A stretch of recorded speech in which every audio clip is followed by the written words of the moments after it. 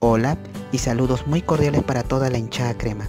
Esperemos de que este martes 23 de agosto a las 3 y 15 de la tarde estemos alentando el partido entre Universitario de Deportes y Universidad César Vallejo, correspondiente a la segunda fecha del Play-Off hexagonal final de la Liga Femenina Plus Petrol 2022. El escenario es en el Estadio Monumental de Ate. Esperemos de que hagan un excelente partido y conseguir un valioso triunfo jugando como locales, para así estar entre los cuatro primeros y pasar a la ronda semifinal. Así que mucha suerte y éxito para todo el equipo femenino crema y juntos podemos decir y dale Muchas gracias.